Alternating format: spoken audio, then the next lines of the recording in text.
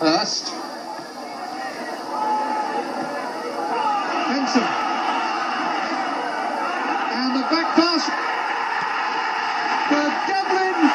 And King has made the mistake that's opened the way for Cambridge.